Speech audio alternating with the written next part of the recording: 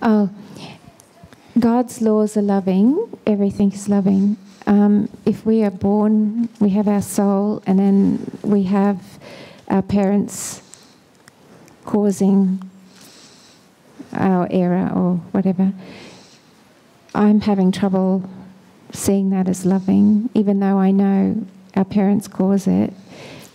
Do you know what I mean? Like the soul is uh, has no defense against that. No, your soul has very little defense against anybody else in the universe acting in an unloving manner, whether that's your parents or anyone else. Because there is no law looking at unloving events, there are only laws looking at loving events. Do you understand? Like, our soul has no defense against unloving actions. In the sense that we can't prevent unloving actions taken by others.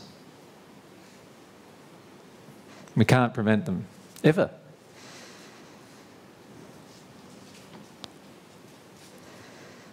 Now, when you're in a state of complete love, you don't need to prevent them. Anyway.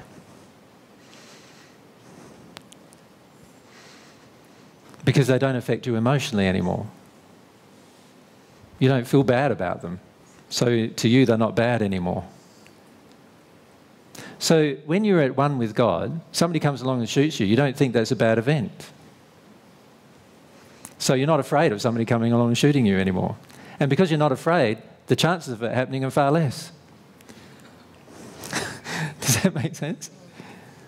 Right? But if I'm not at one with God and someone comes along and threatens to shoot me, I'm afraid of death. And so the chances of it happening are greater.